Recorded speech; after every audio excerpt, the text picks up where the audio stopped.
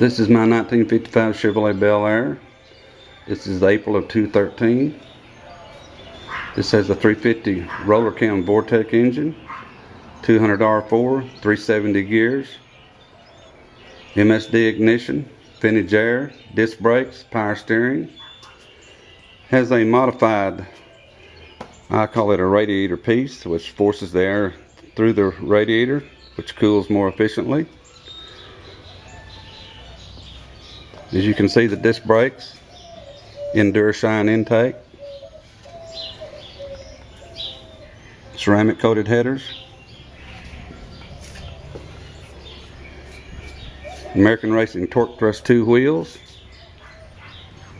This car's a driver, gets 20 miles per gallon.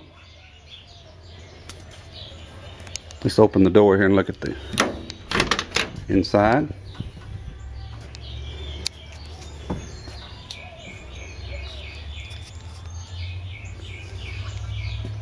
Interior is convertible seat covers modified to fit this Bel Air two-door.